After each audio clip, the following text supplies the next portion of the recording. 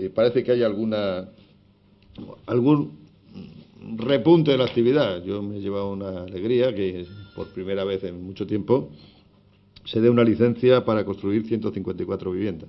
No son públicas, pero bueno, parece que de alguna manera eh, se animan algunas empresas y hoy hemos dado licencia para 154 viviendas con 195 plazas de garaje en el entorno de la estación y también para un equipamiento, eh, en este caso educativo, eh, que significa una inversión de 17 millones y medio de euros. ¿no? Eh, bueno, bienvenido sea, porque sin duda toda la inversión pública y privada nos hace falta y espero que esta licencia que damos hoy sobre viviendas pues sea un signo de que dentro de poco empecemos otra vez a recuperar eh, la actividad económica no solamente a través de la inversión pública, sino también a través de la inversión privada.